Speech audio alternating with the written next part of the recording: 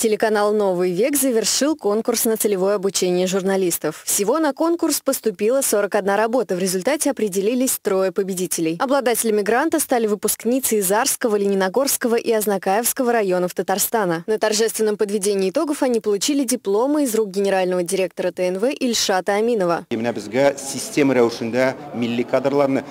Шулай дип әйтим, күп телле кадрларны әзерләргә кирәк. Мәктәптән башлап, менә Метим Шәрипов башлап җибәрде бу эшне, бик зур эшне, менә бу полилингвальный мәктәпләрне булдыру.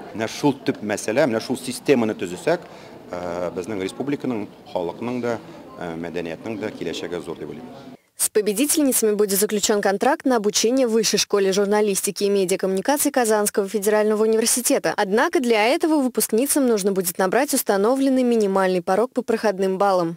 Наверное, я буду радоваться завтра или когда-нибудь еще, но не сегодня, потому что сегодня это неожиданно. Мне кажется, что это сон. Я не верю в это. Я не думала, что то, что я буду смотреть по телевизору, это станет реальностью. И вот сегодня я окажусь здесь.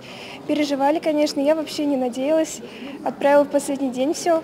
Но вот так получилось, наверное, это судьба. Все-таки нужно, нужно было, чтобы я была здесь. В завершении мероприятия генеральный директор ТНВ Эльшат Аминов анонсировал, что телеканал в скором времени запустит следующую часть этого проекта и начнет набирать будущих абитуриентов уже на следующий год обучения. Валерия Муратова, Виолетта Басова, Универньюз.